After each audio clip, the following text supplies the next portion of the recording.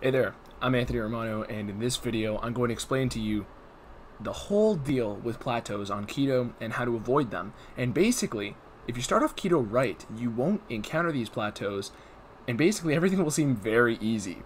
So the inspiration for this video was brought to me from a conversation I was having with a coaching client, and essentially we were discussing how a lot of people he know he knows are encountering these plateaus, but he didn't really have a problem with that partially because of the way we set up the plan and because of his own diligence in counting calories at first, but not necessarily aiming for a deficit, just seeing what he was naturally eating. And this eventually led to a very streamlined process. So I have the messages up here as well. But before I get into this video, I'm going to say Keto Whey Guide should be up. Keto bodybuilding shirts should be up. Check the website, okay? And also the quarantine, I took a little break, so everything's all smooth in that regard. Thanks, Daisy. So, we're now going to be going into the video.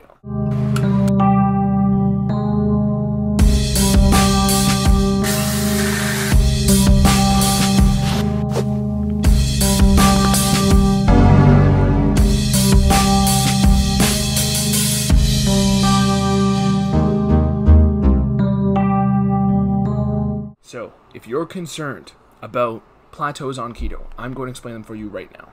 So, essentially, a lot of people will start keto and they won't have a calorie goal, which is fine at first. If you've watched my other videos, you know that I've explained the two sides of the fat loss coin, or really the metabolism coin. There's the quantitative and the qualitative. So, basically, you can either count the quantity of the total energy you're consuming, or you can look at the quality of the foods and their likelihood to cause fat storage. That's essentially the gist of keto. So eventually, you'll get to a point where you if you focus on only one side of the coin, you'll plateau because you're not managing the other side of the coin. So calorie dieters, eventually, they will reach a point of such low calorie intake that they have to produce a hormonal response, a qualitative response in order to actually progress past a, past a plateau.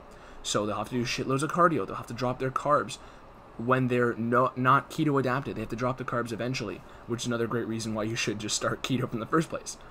But on the other hand, you have a lot of keto dieters, which they'll start off the easy approach, just cut out carbs and eat as much food as they want. And in the grand scheme of things, their insulin, the fat storage hormone, will probably be lower than somebody who's actually eating less calories than them, but including carbs. So essentially, you'll have these people, they'll lose 40, 50 pounds, but then they'll plateau because essentially their body reaches a homeostasis point. And the only way to progress past that is to now start dropping the energy intake a bit to create more demand on the body to tap into its own fuel source. So, at both sides of the coin, we see that you have to push the other side in order to progress past a plateau. So, essentially, the way you prevent this and the way you make the process so easy, okay, and I mean ridiculously easy. Like, this is a conversation I had with a client of mine. So, thank you. Great conversation together again. Uh, you know who you are. But essentially, we started off speaking about how people he knows and people in Facebook groups they have these plateaus, and he was asking me some questions about it. So, essentially, the way this started off was we were assessing his progress. He had made great progress. And, you know, we got to a point where we said, okay, let's just drop the calories by a slight margin 100, 200 calories. That's it. And because he's already feeling great with keto, he's kind of mastered keto, he's gotten adapted, which is something we always prioritize if you work with me. It's that he really got to a point where he's like, is it really that easy? And it is. The only problem is that people don't start off correctly. And he reassured it feels too easy. But it, it it really is because when you start off an approach whether you like a carb diet or a keto diet you have to start off balanced. And if you don't you'll reach a point where you run into problems and things get harder as you progress. Meanwhile if you start off with keto things get easier because you simply eat keto and then slowly drop your calories so the way you approach this is you start off and you count your calories to assess where you're naturally stopping eating food every day.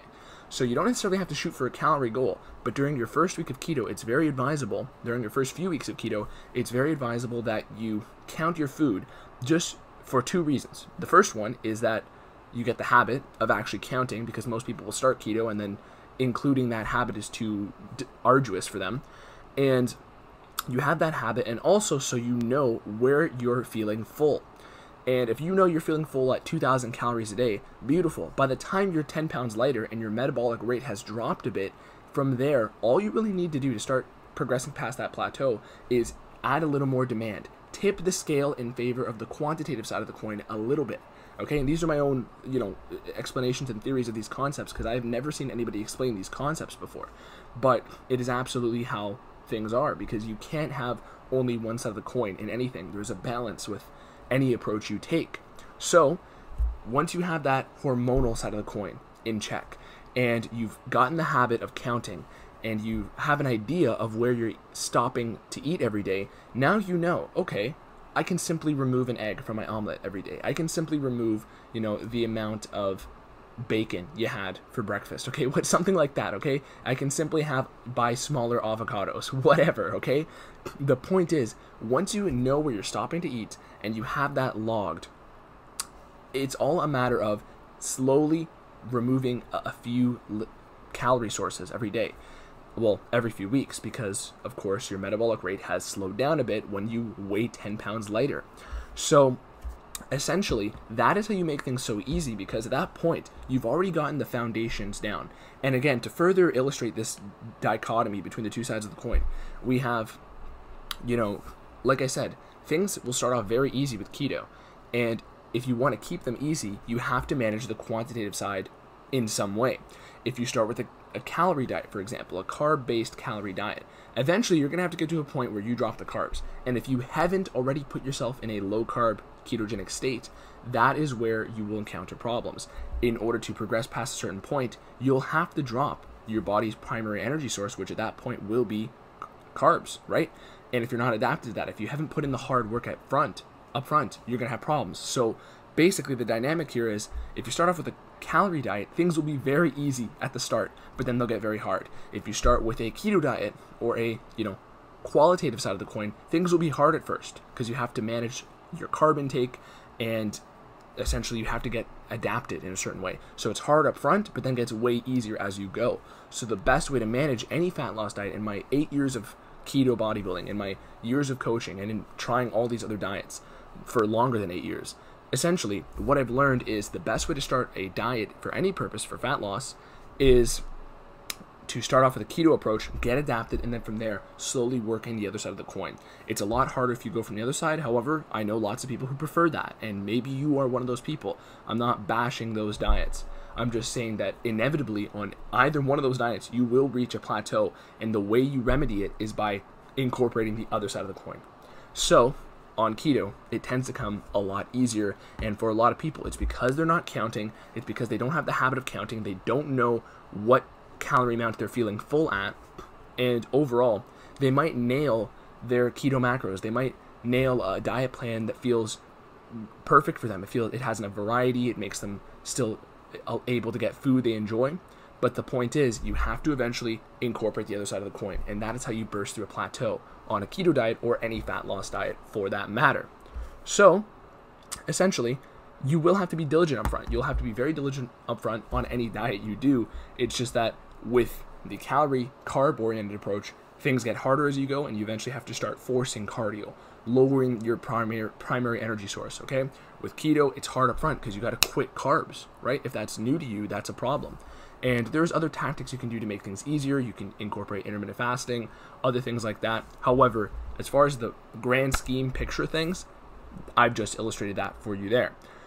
So essentially, a lot of people start off keto and they simply just cut out the carbs and they they won't count because it's easy that way, right? You have to dig deep and start to count, get that habit in because it's far easier if you do get that habit up front and also because if you're using a, an app or something like that, it actually saves your food for you.